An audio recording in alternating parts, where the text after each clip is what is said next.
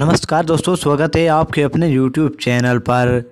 नाजीन हम आपको एक बहुत ही इंतहाई अफसोसनाक ख़बर से आगाह करते चलें कि तामिल के बेहतरीन मशहूर व मरूफ एक्टर अब हमारे दरमियान में नहीं रहे। उनका अभी अभी निधन हो गया है। यह नाजीन अभी कभी ये खबर सामने आ रही है कि तामिल के मशहूर मरूफ अदाकार का अभी अभी निधन हो गया है। उनका निधन कैसे हुआ, आज हम आपको मुकम्मल डिटेल के साथ इस वीडियो में आगाह करेंगे।